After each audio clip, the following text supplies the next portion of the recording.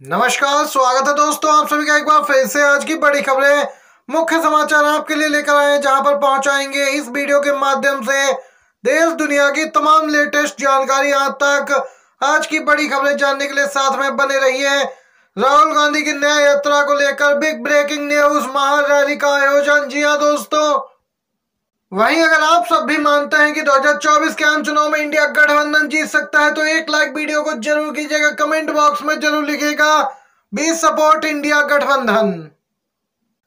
राहुल गांधी की भारत जोड़ो नई यात्रा आज दोस्तों यहाँ पे पूर्ण होने जा रही है और वहीं अब एक रैली का आयोजन किया गया है, जिसमें ज़बरदस्त भीड़ देखने को मिली है। लोगों का जमावड़ा लगना शुरू हो गया है और वहीं कांग्रेस नेता राहुल गांधी ने भी बड़ा बयान दिया है। उन्होंने कहा, देश में पाँच प्रतिशत लोग ऐसे हैं जिन्हें न्याय मिलता है। उनके लिए कोर्ट, सरकार और अन्य सभी संस्थाएँ काम करती हैं। वहीं दोस्तों, राहुल गांधी ने कहा कि जब तक मैं जीवित हूँ, भाजपा संविधान को नष्ट नहीं कर सकती है। सीधा इशारा, पाँच प्रतिशत लोगों में दोस्तों, बीजेपी के खास कुछ उद्योगपति और इनके मित्रों के तरफ़ था राहुल का इशारा। राहुल ने कहा कि अगर हम बाकी नब्बे फ़ीसदी लोगों पर भी नज़र डालें तो उनको न्याय नहीं मिल पाता है। क्योंकि भाजपा नफरत फैलाती है। वहीं दोस्तों 2024 में इंडिया गठबंधन की सरकार बनने का भी राहुल गांधी ने बड़ा दावा किया है। उन्होंने कहा कि हमारी सरकार आई तो यहाँ पे युवाओं, किसानों आदि सभी का ख्याल रखा जाएगा और कांग्रेस ने जो गारंटियाँ दी हैं, उन्हें भी पूरा किया जाएगा। प्रधानमंत्री मोदी का बयान हो रहा, सोशल मीडिया पे वायरल, लोग पूछ रहे कि असली पप्पू कौन? जी हाँ दोस्तों, आपको बताते चले, देश में आदर्श आचार संहिता लागू हो गई है। और इसी के साथ अब कमान चुनाव आयोग के हाथ में है। और दूसरी तरफ़ प्रधानमंत्री मोदी भी सभाएँ कर रहे हैं। एक कार्यक्रम के दौरान प्रधानमंत्री मोदी ने कहा कि हम यहाँ पे दो या 24 नहीं बल्कि दो के लोकसभा चुनाव के लिए तैयारी कर रहे हैं। लेकिन दोस्तों यहाँ पे बड़ी बात है कि 2024, 29, 2034, उनचालीस चौवालीस उनचास आदि में लोकसभा चुनाव होने हैं लेकिन दो में तो कोई लोकसभा चुनाव है ही नहीं, जिसके बाद सोशल मीडिया पर लोग प्रधानमंत्री मोदी के बयान को लेकर भी अपनी प्रतिक्रिया व्यक्त कर रहे हैं, ट्रोल किए जा रहे हैं पीएम मोदी। दोस्तों, बताते चले, चुनाव आयोग ने जहाँ लोकसभा चुनाव का शेड्यूल बताते हुए ऐलान किया कि देश में इस बार सात चरणों में चुनाव होंगे, लेकिन इतने लंबे शेड्यूल को लेकर विपक्षी पार्टियाँ सवाल उठा रही हैं। इसी क्रम में टीएमसी के नेता चंद्रमा भट्टाचार्य ने कहा कि सात फ़ेज़ तक चुनाव को खींचने से बड़ी जेब वाली पार्टी को फ़ायदा मिलेगा। मल्लिकार्जुन खड़गे ने कहा कि सात फ़ेज़ का मतलब है कि मोदी को पूरे देश में घूमना है। आपको बताते चले दोस्तों, सात फ़ेज़ में चुनाव का मतलब है बीजेपी के पास जो फंड है, चंदा है, उसका भरपूर प्रयोग किया जाएगा चुनाव प्रचार में। और वहीं आपको बता दें कि इस पूरे मामले पर मल्लिकार्जुन खड़गे ने कहा कि प्रधानमंत्री देश भर में घूम घूम के प्रचार करने के लिए समय चाहते इसीलिए चुनाव आयोग ने दबाव में सात चरणों में चुनाव को रखा है। अगली अपडेट आ रही है उत्तर प्रदेश के मऊ से, जहाँ पर चुनाव से पहले ग्रामीणों ने चुनाव का बहिष्कार किया है। जी हाँ, भारी संख्या में ग्रामीण कर रहे हैं। चुनाव का बहिष्कार लगभग दस हज़ार ग्रामीणों की संख्या बताई जा रही है, जिससे कि सीधे सीधे लोकसभा चुनाव में प्रत्याशियों को भारी नुकसान होने वाला है। रेलवे फाटक की मांग को लेकर ग्रामीण धरने पर भी बैठे हैं। खास तौर से बीजेपी नेताओं की तो गाँवों में एंट्री ही बैन कर दी गई। जी हाँ दोस्तों, उनके घुसने पर प्रतिबंध लगा दिया गया।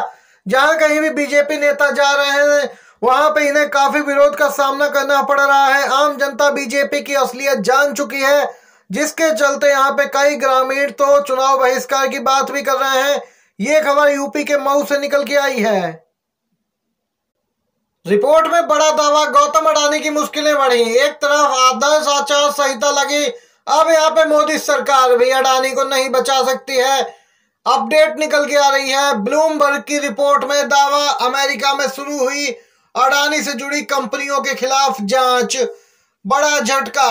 भारत के दिग्गज उद्योगपति पीएम मोदी के मित्र गौतम अडानी एक और बड़े संकट में फंसते नज़र आ रहे हैं। सामने आई जानकारी के मुताबिक, अडानी समूह के खिलाफ अमेरिका में रिश्वत देने के आरोपों में जाँच की जा रही। अमेरिका के प्रसिद्ध मीडिया संस्थान ब्लूमबर्ग ने इसको लेकर एक लंबी रिपोर्ट भी प्रकाशित की है। रिपोर्ट के मुताबिक, इस जाँच के ज़रिए यह पता लगाने की कोशिश हो रही है कि अडानी समूह की किसी कंपनी या फिर इससे जुड़े किसी व्यक्ति ने एक एनर्जी प्रोजेक्ट को हासिल करने के लिए भारतीय अधिकारियों को रिश्वत दी या नहीं? दोस्तों अपडेट निकल के आई है। अगली खबर की ओर बढ़ते हैं। भारत जोड़ो नया यात्रा का आज समापन इस अवसर पर मुंबई के शिवाजी पार्क में विशाल रैली आयोजित की गई। इंडिया गठबंधन के कई बड़े नेता मुंबई पहुँच चुके हैं। राहुल गांधी मुंबई में। आज यहाँ पे दोस्तों इस यात्रा के समापन पर एक बड़ी रैली आयोजित की और इंडिया गठबंधन के समस्त नेता शामिल होंगे। वहीं इस पूरे मामले के बाद यहाँ पे कांग्रेस पर संजय राउत का बयान भी आ गया। कांग्रेस की की है जमकर तारीफ़, बोले अगर कांग्रेस ना होती तो इस देश को आज़ादी नहीं मिलती। यदि कांग्रेस ना होती तो इस देश को नेतृत्व तो भी नहीं मिलता। यदि कांग्रेस ना होती तो पाकिस्तान के दो टुकड़े ना होते। देख सकते हैं, संजय राउत शिवसेना यूवीटी के नेता, कांग्रेस के की है तारीफ़ बीजेपी को घेरा है।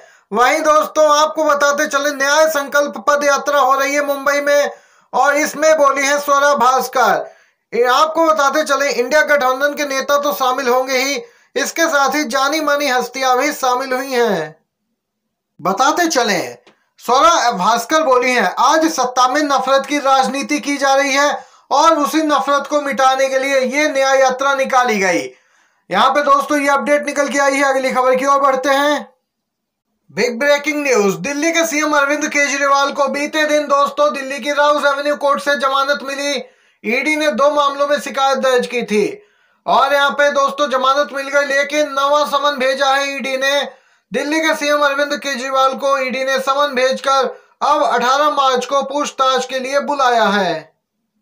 यह समन दिल्ली जल बोर्ड में कथित रूप से गड़बड़ी से जुड़े मामले, यानी मनी लॉन्ड्रिंग को लेकर केस है। आम आदमी पार्टी के नेता दिल्ली के सीएम केजरीवाल पर पीएमएलए के तहत यह दूसरा मामला है।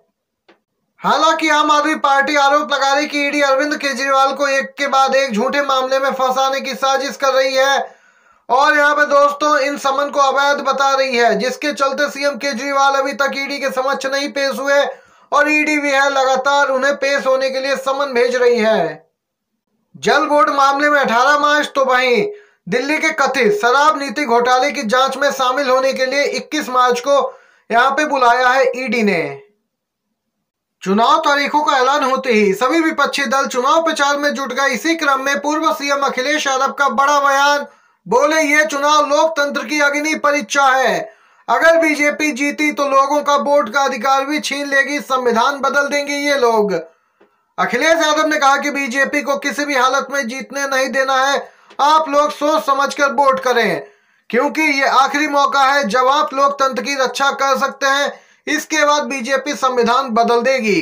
ये आज की बड़ी खबरें, मुख्य समाचार थे। अगर वीडियो पसंद आया हो आपको तो लाइक कीजिएगा, शेयर कीजिएगा। अपने दोस्तों में भी आप सभी का धन्यवाद। जय हिंद, जय भारत।